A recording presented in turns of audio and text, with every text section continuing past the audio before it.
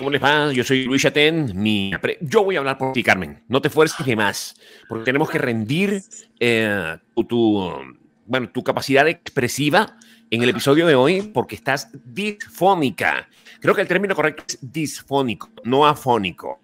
En cualquier forma, eh, Carmen tiene cierta dificultad para comunicarse porque ha hecho un esfuerzo tremendo, exitoso, eh, descollante en la grabación de su especial en Nueva York y ha quedado afectada de la garganta. Entonces, yo soy Luis Ten, ella es Carmen Lynch. Carmen, hazme una señal que me indique que, que estás bien. Ella dice que está bien. Esto quiero que sepas que el show de Nueva York estuvo fantástico. Hazme una señal si me entendiste. Y bueno, muchísimas gracias a todos por escucharnos. Ya será hasta el próximo episodio de Podría ser peor.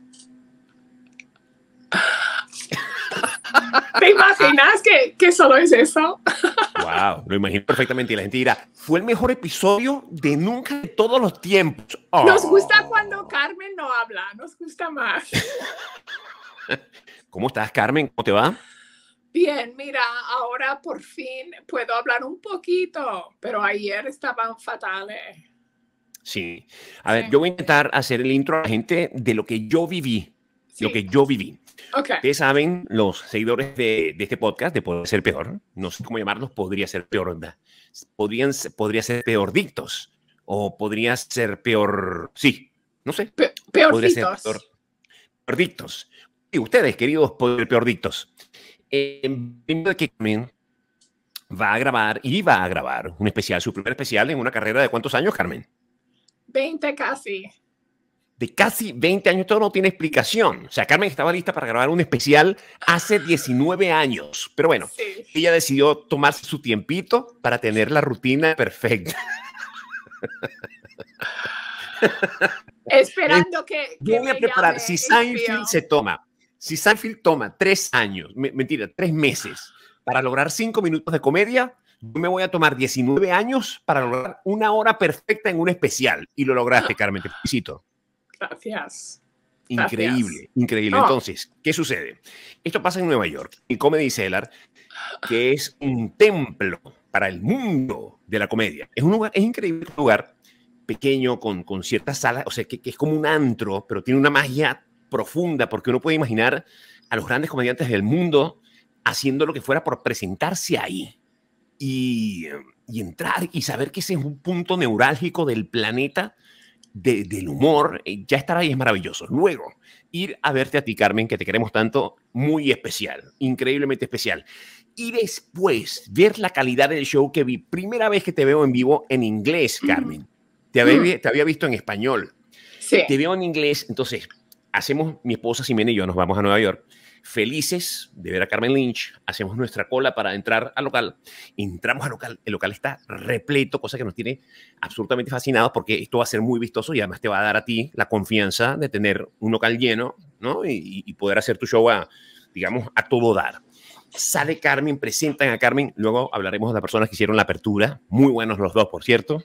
Ah, sí. Y sale Carmen con un, un, un look oscuro, eh, con un maquillaje impecable. Eh, bueno, por el amor de Dios, la mezcla de, de, de una, de, de, una modelo de la revista Vogue con la expectativa, todos de una, de una comediante de, de la altura de Carol Burnett. Y toma el micrófono, Carmen, y lo primero que escucho es ¡Apaco!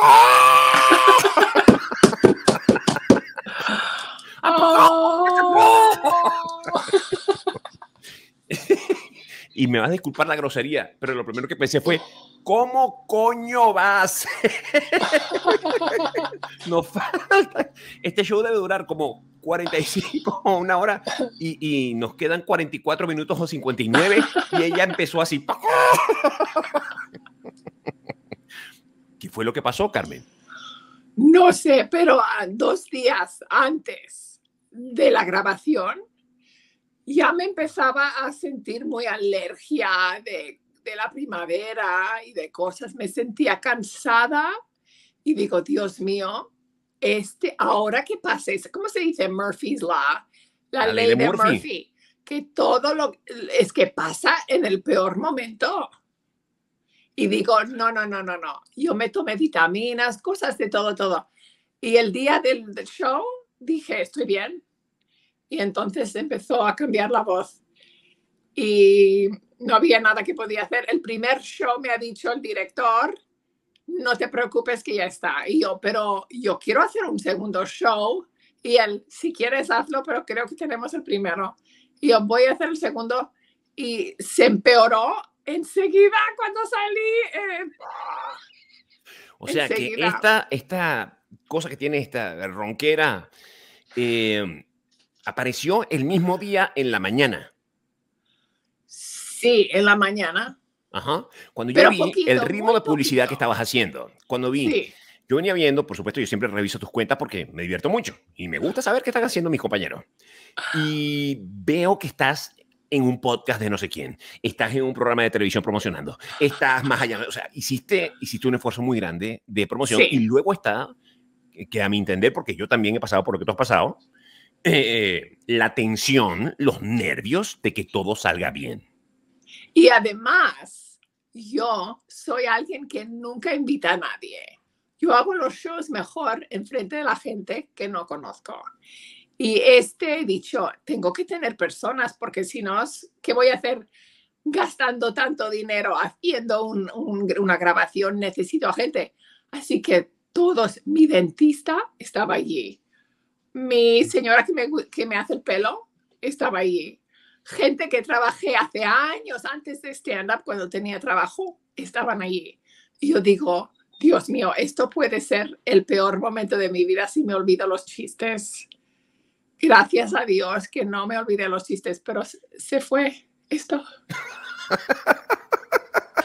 Claro, fueron dos shows para las personas que están escuchando y, para que entiendan un poco mejor. Seguramente ya lo entendieron, pero bueno, en fin.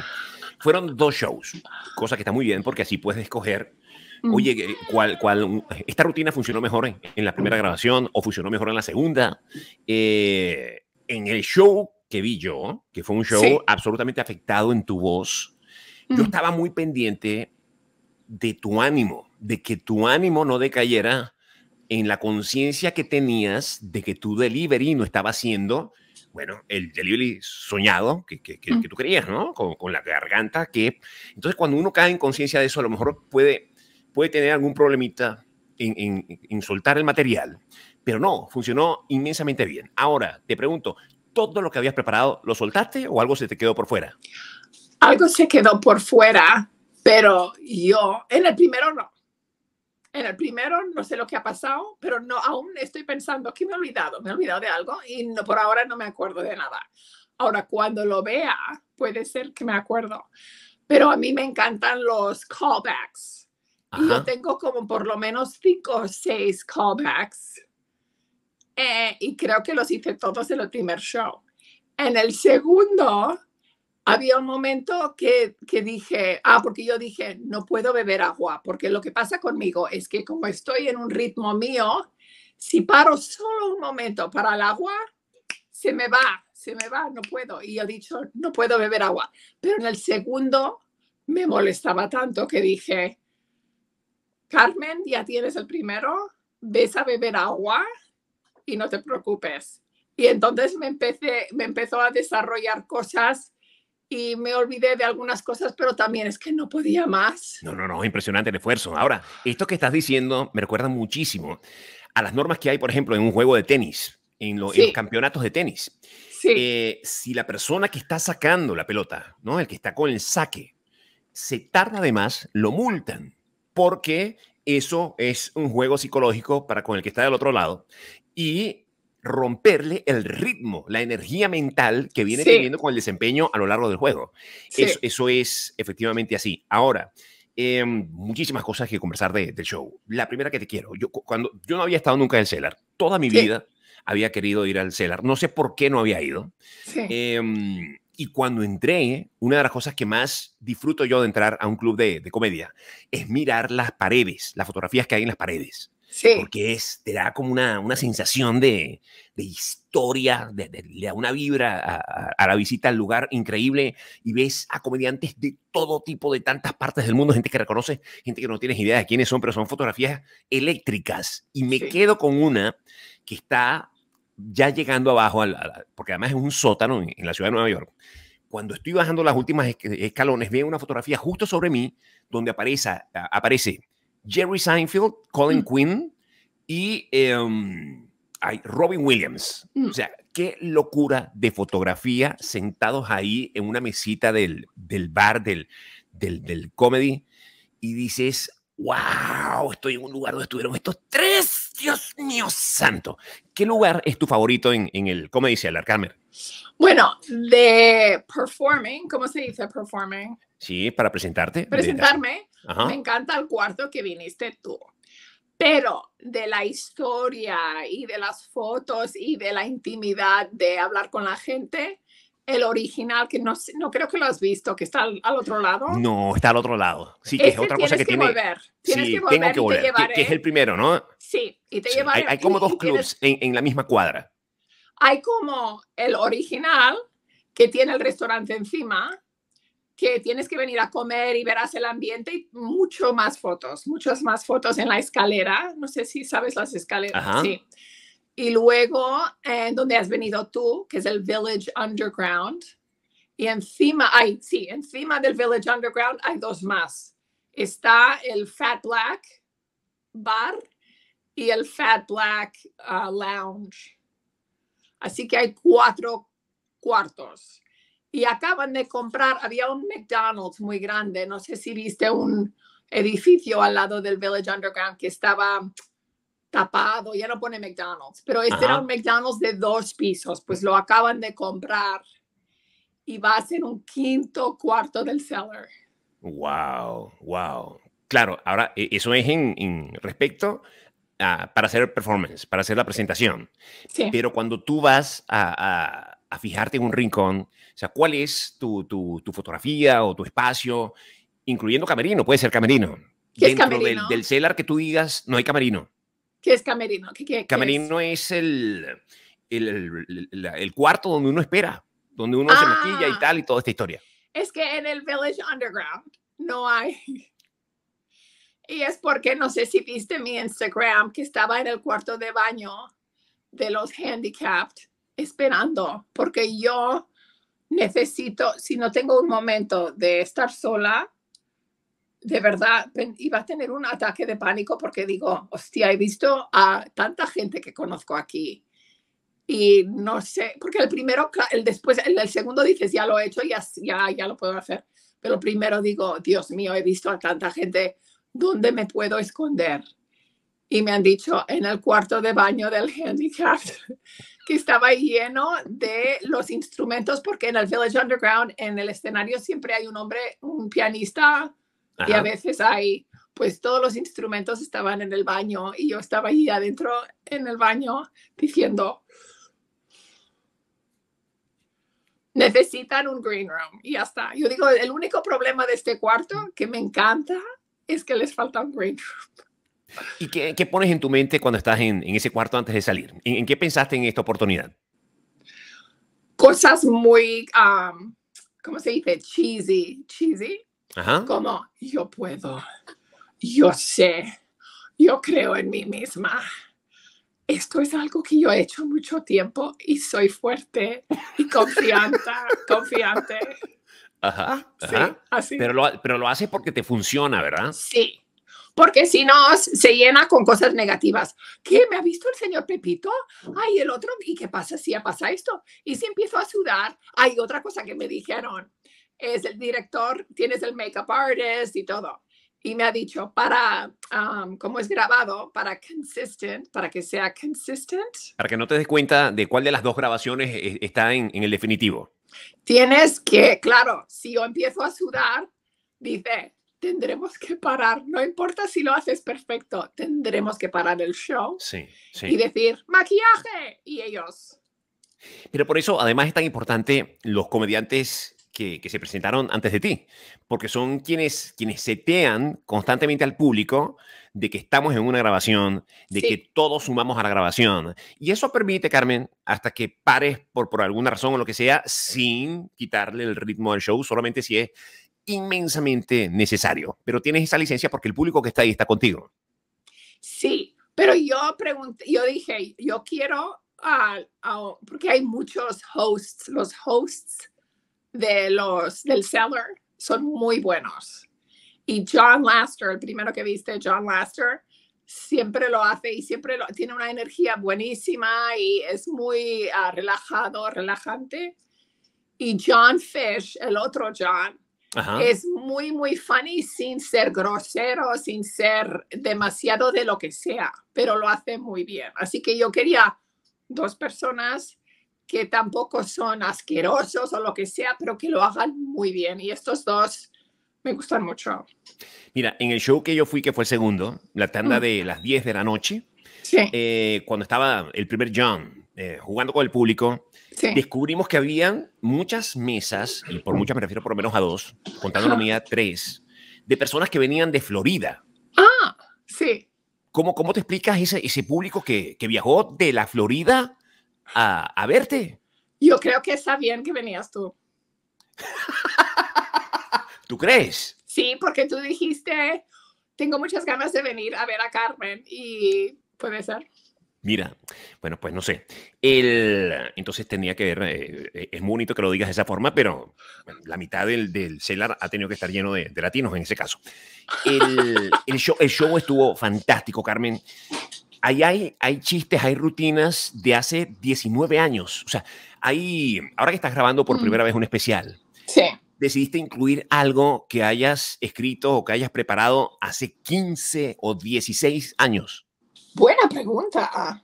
Mira, yo solo quería hacer chistes que no he podido hacer en Late Night, en Letterman, Conan, Fallon, esos chistes más oscuros y raros, como de Jesús o lo que es de cáncer y todo esto, yo los quería hacer en este. Y, um, ¿qué la pregunta otra vez? Ah, sí. Y entonces, uh, casi no. Yo diría que no hay chistes de hace 19 años, pero si hay, son un one-liner. Ajá. Como mi escoliosis, que yo tuve escoliosis. Esto siempre lo hablé desde que empecé. Carmen, eh, la presentación. ¿Por dónde comenzó el material? ¿Cómo escogiste cuál sería el rumbo a, lanzarte para, para, para el show? Yo dije, porque yo, yo a mí me gusta procrastinar, procrastinar. Ajá. Y Divagar. ¿Y qué? Divagar en español. Ah, que hacer esto al último minuto todo. Es que lo que yo me he dado cuenta es estos años que yo hago comedia, te haces muy cómoda y dices, yo sé hacer una hora. Si yo me tengo que ir a Denver o Texas o lo que sea, yo sé mi hora. No importa, yo sé mi hora. Me he hecho muy así. Y entonces ha venido este especial y yo digo, pero yo no puedo hacer esto para un especial, no puedo hacer así, tengo que... Y me he puesto a, a escribir una, un orden. Ajá. Y me he dado cuenta, Carmen, ¿por qué nunca haces un orden? Esto es mucho mejor tener un orden. Pero por favor. Llevaste, llevaste lo que llamamos en, en español una chuleta. ¿Qué es llevaste eso? Un, una, chuleta es el, papel escrito con la rutina que, lo tenías en caso de emergencia. Lo viste en el stool. Ajá. Sí, qué bien. Lo, poní, lo puse al lado del agua. Ajá. Una lista. Pero yo he dicho, no lo voy a mirar. Esto es para emergencia. Y nunca lo miré. Busqué el agua, pero no lo miré. Y, um, y al principio tengo que hacer los chistes, creo que no sé, no son demasiado raros, porque si abres con una cosa demasiado rara, asustas a la gente. Ajá. Así que he abierto con cosas más general, más normal. Sí. Sí. Tú sabes qué me ha pasado a mí con, con el papelito este donde anotas la rutina. Sí. Yo desde que comencé, e, era para mí como que una cuestión de honor no tener el, el papelito. O sea, yo sentía que era como mi responsabilidad para con el público aprenderme mi show. Sí. O sea, esta gente está pagando un dinero, para mí es una cuestión de respeto para con ellos aprenderme yo mi show. Fue precisamente en Nueva York donde aprendí que está absolutamente permitido revisar el, papelito y que a la gente a la gente no le importa. No le importa. No le importa, no le importa. Yo alguna vez leí un libro de, de comedia donde el autor decía, al final lo que la gente quiere es divertirse. O sea, si se están divirtiendo porque estás leyendo o si están divirtiendo porque estás improvisando, no importa nada. Lo importante es que yo salga de ahí y diga cómo me divertí con Carmen Lynch. Bueno, en una oportunidad, la primera vez que yo salí a hacer un show con una, un papelito con, con todas mis rutinas escritas en el orden que tenía que hacerlo, yo uso lentes, Carmen, como tú, ¿verdad? Y, y por algún momento el sudor mismo de, del show, del espectáculo, me los quité y cuando fui, cuando sentí como la, duda de, de, qué era lo que seguía y me fui al papel, me lo acerqué, me lo acerqué a la vista así, y no pude leer nada. Fue así como que, ¿qué dice aquí? Entonces pretendí que había leído algo, le decía, qué, vergüenza, oh. qué vergüenza con ustedes, pero yo tengo que chequear mi anotación. Y dice así como que, estoy leyendo un coño. Lo puse ahí y continué. ¿Y dónde estaban las gafas? pues, pues está en cualquier lugar. Pero mi cerebro no dio para tanto, ¿sabes? Mi, mi, cabeza no, no, no, no, no soy tan multitasking. Mira, eh, mientras está, bueno, lo primero, cuando me voy a sentar en, en el puesto que me asignan, ¿no? digo yo, bueno, Carmen tiene que haber escogido estos puestos eh, a discreción. O sea, ella tiene que haber dicho, no, ya tú me habías advertido que no quería gente conocida, rostros conocidos cerca. Sí. Entonces yo me estaba esperando que iba a estar atrás, detrás del, faro de luz. bueno, y casi me sentaron, Carmen, eh, tuviste luego donde perfecto. me sentaron. Me sentaron perfecto, pero había una columna y estaba yo justo al lado del oh. camarógrafo. Eh, de las dos cámaras ah, principales. Sí. Entonces yo digo, claro, Carmen nunca va a notar que nosotros estamos acá por, por, la luz frontal que ella tiene y luego porque ella va a estar pendiente es del lente en tal caso, no, no nos va a ver. Mientras estás haciendo tu show, el segundo al que yo asistí, veo a Mark Norman. Ah, sí. Y pasa Mark Norman así y, y, este es un muchacho fantástico. O sea, yo, yo me he convertido en un fan de, de Mark Norman. Qué, qué, buen comediante es. Sí. Y lo vi, lo he visto dos veces en Nueva York haciendo stand-up y se acerca a mi mesa a saludar al camarógrafo y yo digo, oye, este es el momento que tengo para, para conversar con Mark. y decirle, pero después digo, no, Luis, este, Carmen está grabando un especial, aquí no vas a poder conversar. y siguió y se fue. Pero, pero qué bien que tus amigos comediantes hayan, hayan pasado por ahí. Sí, y también va muy bien porque como hay tantos shows arriba, es fácil, y aunque no haya grabación, es divertido bajar a ver quién está. Pero especialmente cuando hay una grabación y este de la, del el director lo ha hecho para Mark y Joe List y mucha gente, pues se conoce mucho y son todos amigos y, y va bien, va bien usar a alguien que a todos le gustan. Que ¿Sentiste la tentación, Carmen, de, de improvisar en algún momento? No, porque solo al principio para decir hola y descansar, especialmente el primero. Para relajarte. Relajarme. Pero cuando empecé a hacer boom, boom, boom, boom, boom, no, quería hacer todos los chistes porque no, no quería olvidarme del orden. Y mi mente, yo soy sin ser um, diagnosed con ADD, sin ser diagnosed, encuentro que soy muy, muy ADD diré, ay, mira este árbol, qué bonito. Y el coche detrás, y Luis, ahí y aquí. Y no quería estar... Concentrada, enfocada. Concentrada, enfocada. Ajá, ajá. Mira, pero sí vi al final de mi grabación, donde obviamente no querías dejar nada por fuera, que al final hubo como una duda, dijo, ah, ya va, pero tenía que hablar desde. Hubo una rutina breve, corta, que casi se te queda por fuera. Que casi, ah, la mía, en la mía. Sí, en tu show. Sí, en la, Sí, porque había un momento que me acuerdo que dije, esto ya no dura, ya no puede más. Y digo, tengo que saltar unos chistes porque ya me salieron en el primer show. Y he saltado, he saltado a un callback que no, aún no tenía chiste. Y nadie se reía. ¡Qué buena! Me, me acuerdo perfectamente, todos se quedaron. No, no se entendía. Si esto hubiese sido mi primer show, estaría súper eh, vergonzada sudando. Pero como ya no podía más y ya lo había hecho, digo, ostra. Porque me acuerdo que el director me dijo, mucha gente que graba conmigo. El primero le sale así. Y el segundo, como ya dije, ya se piensa que ya está bien, lo hacen tan diferente que ni podemos usar un trocito de ese. Así que aunque tú sepas que el primero está bien y yo te estoy diciendo ahora, no tienes que hacer el segundo. Y, y yo dije, yo lo quiero hacer.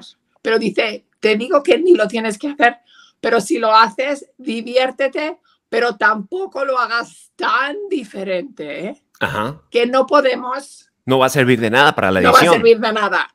Ajá. Y el- la, la gran diferencia es la voz, porque yo he preguntado a amigos que han ido al director, ¿cómo me ha ido la voz del primero? Y ellos, perfecto, no te preocupes. Ah, era un poquito, un poquito como hoarse.